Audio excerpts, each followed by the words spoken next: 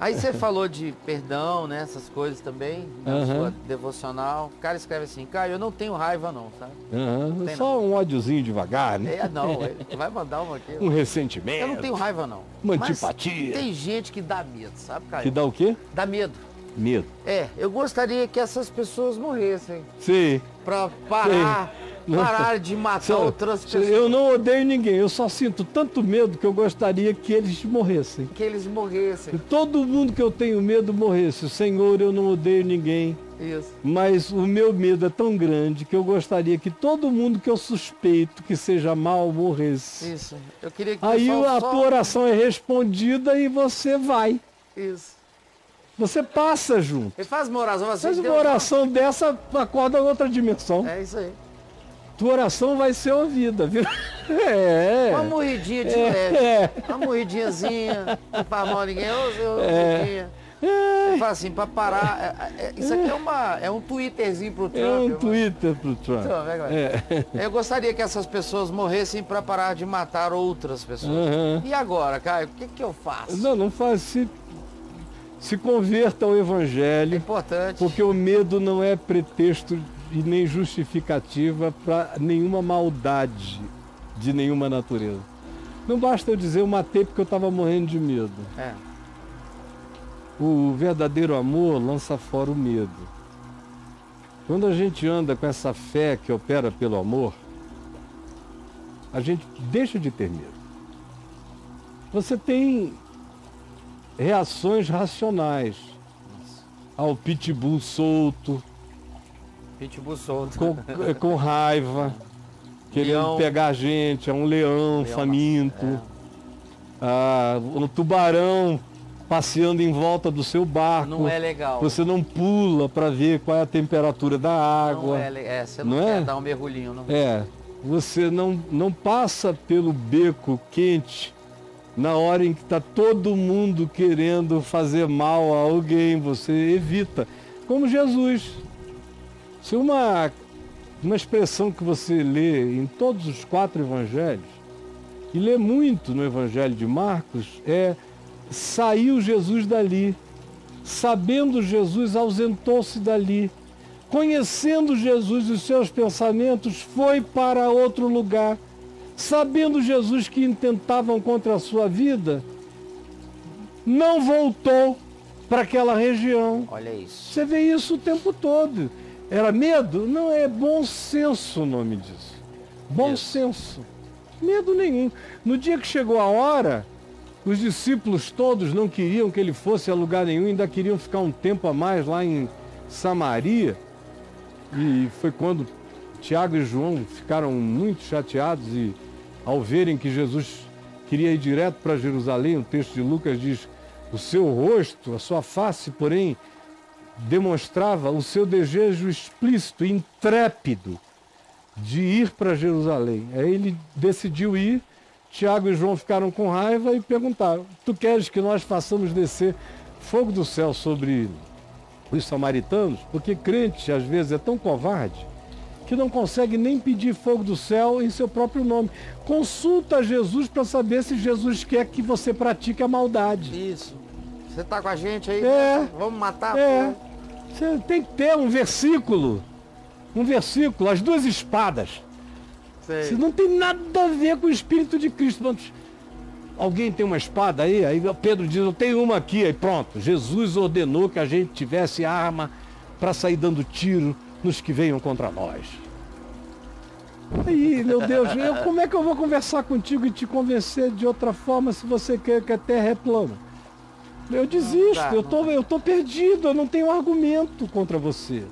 Se Sei. você não crê também que o Evangelho é o Evangelho e que ele é tudo, e que Jesus é a interpretação do Evangelho e não os intérpretes da religião, se você não crê nisso, eu não tenho como dialogar com você. Se o Arquimedes não tem como mover a terra, não dá para fazer uma alavanca com base em princípios, com base na pedra da esquina. Se Jesus não é a pedra de esquina, eu não tenho o que alavancar. pra-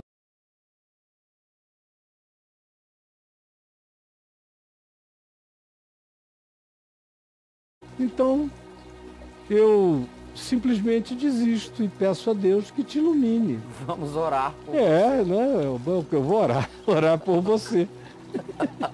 Mas não vou discutir, não vou brigar, não vou nada, não, não tenho esse poder.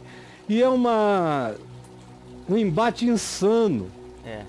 É totalmente louco. Eu não sou louco, entendeu? Eu quero ser sábio, eu quero ter bom senso. Eu quero ser do Evangelho.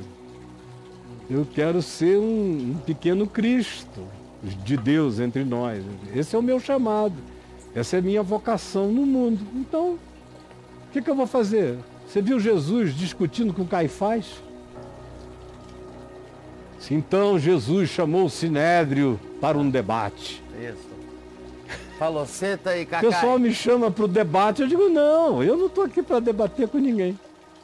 Eu gosta, falo, você crê ou não crê. Mas eu não vou ser convencido do contrário. É. Eu estou tomado, possuído por isso. Então, ninguém precisa brigar comigo, eu não preciso brigar contigo. Eu não vou mudar de ideia e também não tenho a pretensão de te mudar no embate. Se você, aqueles que são minhas ovelhas, ouvem a minha voz e me seguem. Você veja como Jesus não tinha essa história do embate. Quem é meu vem comigo, quem não é meu não vem. Alguém aí quer se retirar? É, podem Fica à ir. vontade. Então não chamou Anás, nem Caifás para um debate, nem o Sinédrio. Não disse a Nicodemos e a José de Arimaté como eles eram importantes estratégicos para introduzirem Jesus no ambiente do pré-breakfast, No breakfast dele, do, no breakfast do Sinédrio. do cinema. Não, não disse nada disso, não pediu nada a Não ninguém. deu bizu pros caras. Não, não, não. E quando pediu alguma coisa é pra gente que você não sabe nem o nome. É um jumentinho cujo dono É do jumento é anônimo, é o dono de uma sala que tinha oferecido para aquela Páscoa. Prestou lá. Emprestou, mas não se diz o nome. Era um né? cara sem importâncias maiores. Ou qualquer um outro. A quem derrama nardo puro na cabeça dele, a gente não fica sabendo o nome. Só quando acontece isso lá em Betânia, com Maria, Marta e Lázaro. As coisas mais fantásticas do Evangelho acontecem com anônimos. o tempo todo. É muito bom. Não é extraordinário? Extraordinário. que seja assim. Então você não vê Jesus chamando para briga, vai lá que eu vou esmagar todo mundo. E na hora que prenderam, você viu os discípulos, disseram, Senhor, puxaram das espadas. Aí Pedro cortou a orelha de Malco, o servo do sumo sacerdote. Jesus curou o cara. Para frustração de Pedro. Pedro. Pedro perdeu ali. É, a gente trabalha, Jesus atrapalha, né? É. Pedro, você Curou tá o cara, pá. Pum, embutiu, reembutiu. ali. Aí Pedro aí diz, disse para Pedro, escuta, vocês não sabiam. Andando comigo esse tempo todo, vocês não souberam ainda que se eu quisesse, eu pediria ao meu pai e ele mandaria 12 legiões. Ele usou o termo legião por causa dos romanos. Porque tinha uma legião romana ali, 6 mil pessoas. Mais do que os 3 mil que foram mandados ontem lá para o Iraque. 6 mil legiões. Ele mandaria 12 vezes 6 mil anjos. Só para esse negocinho aqui, ó. Só pra resolver esse babado. Só para resolver e para mostrar como era assim, o evangelho de João, de João disse que Jesus, quando eles perguntaram quem és, Jesus disse, sou eu. Eles caíram para trás. Aí o cara quer puxar a espada. A nossa luta não é contra a carne nem contra o sangue. Contra principados e potestades, inclusive os da Pérsia e os dos Estados Unidos que já foram potestades cristãs, hoje estão se transformando em potestades demoníacas horrorosas, de ódio, de beligerância, de ameaça. É. Então, não há ninguém que olhando o mundo com o olhar de Cristo aplauda isso. Ou ache que é assim que se procede, segundo Deus, em Cristo Jesus.